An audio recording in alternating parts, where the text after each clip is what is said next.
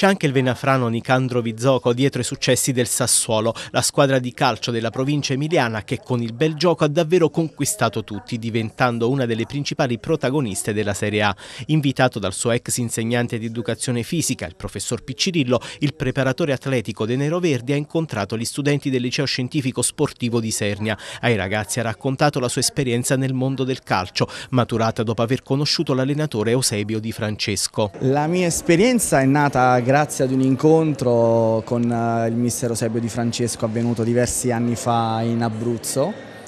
quando lui ha deciso di intraprendere la carriera da allenatore. Una serie di fortuite coincidenze ha fatto sì che noi ci incontrassimo, che poi lui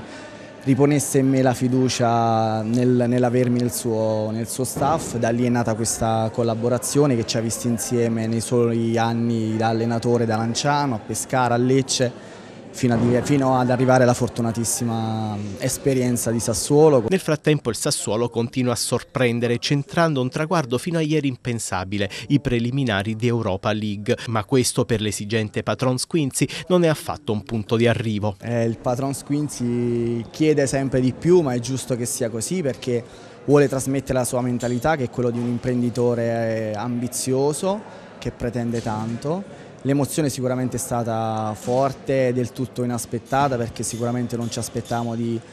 riuscire addirittura a conseguire un obiettivo del genere. Non deve essere assolutamente un punto di arrivo ma sarà sicuramente un punto di partenza, certo sarà sicuramente un'esperienza nuova e pertanto piena di, di difficoltà,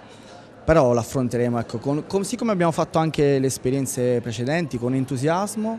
con determinazione, con ambizione e anche con un pizzico di incoscienza. Per i ragazzi è stata davvero una bella esperienza, ma quello con Vizzocco è solo il primo di una serie di appuntamenti con gli atleti molisani che hanno fatto strada nel mondo dello sport. Apportare i nostri ragazzi con eh, personaggi del nostro territorio che hanno raggiunto livelli di eccellenza, sia nel calcio, nella pallacanestro, nelle arti marziali, in tante attività, nello sport paraolimpico, quindi ci sono tanti eh, personaggi della nostra regione, del nostro territorio che possono testimoniare il lavoro che hanno svolto per raggiungere certi risultati. E penso che per i nostri ragazzi sia un qualcosa di estremamente positivo.